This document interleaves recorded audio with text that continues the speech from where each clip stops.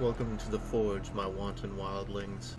I'm your creepsmith, and I hope you like my work.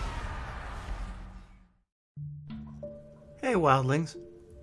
I talk a lot about that feeling that people get when they feel like they're being watched. We hate that feeling. We're all a little scoptophobic because we like our privacy. What's worse is having that feeling and not knowing what or who it is that's doing the watching. Or, in the case of tonight's story, the gazing. Tonight's unholy account of atrocity The Murderous Confessions of a Gazer, brought to us by the talented and surprisingly nice Stupid Dial Up on No Sleep. I am dying.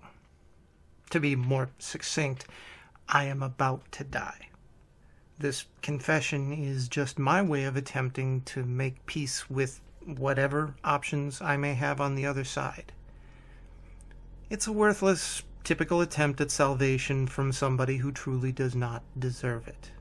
Truth be told, if I weren't about to die, I wouldn't be writing about any of it. I love what I do too much. Plus, I'd be killed by my people shortly after sharing this info with you all. Ironically, as menacing as I have been for the last 40 years, at the end, I find myself more pathetic than my weakest victim. There is a very old saying that information is power. It is one of the truest things that you will ever hear. I was very powerful before my illness. Not just in the way one might describe someone as powerful. My power didn't come from great wealth or brute force or political success. Even I'm not that narcissistic.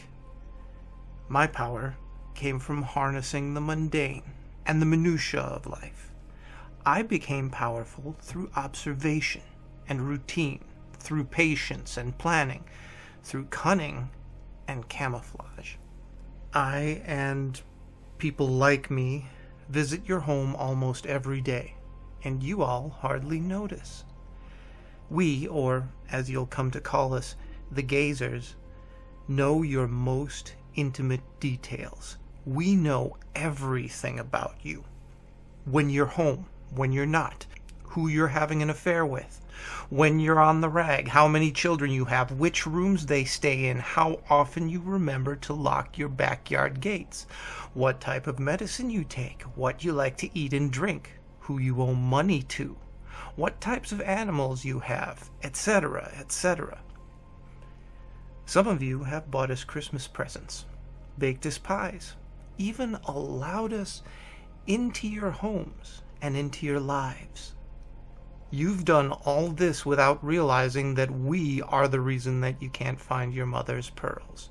Had your car stolen, lost your beloved pet, found your father dead, or your mother raped, or your sibling kidnapped, and, well, you get what I'm saying. We, the gazers, are at your service. Literally. Garbage men, gas and electric meter men, grass cutters, etc. I was your mailman. The gazers communicate just like you do. We email, post on Reddit and 4chan, etc. We've just been so successful at hiding in public that the transfer of information, the transfer of the most fantastic details, has never been simpler. The most ubiquitous phrases that you find in short stories like these or on message boards often mean the most sinister and titillating things to a gazer.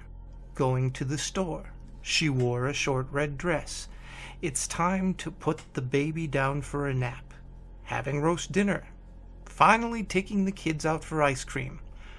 All mean much different things to me and my kind than they normally would to you we can identify ourselves by the nicknames that we have for our specialties.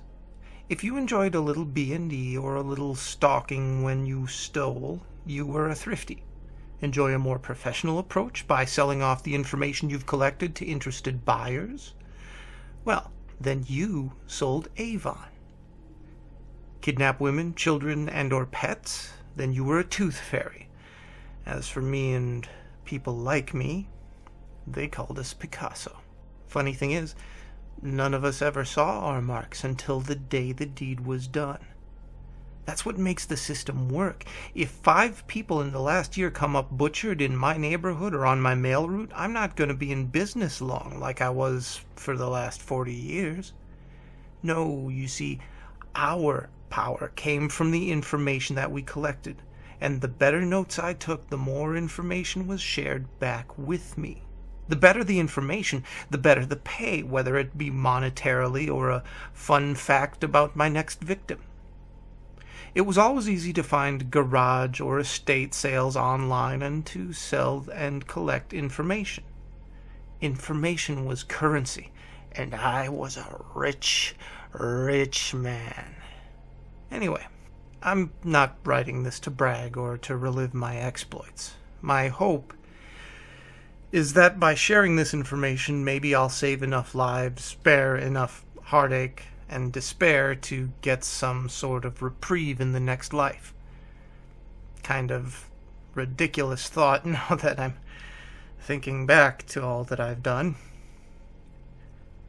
Let me leave you all with one piece of advice. Next time you see a service worker near your home, smile at him or her. No person is going to be in a good enough spirit to smile after walking in the hot sun, picking up 30 pounds of your shit for six straight hours. If that person smirks back at you, congratulations. You've just grinned at a gazer. But if that gazer smiles wide, well, you may have just welcomed a tooth fairy.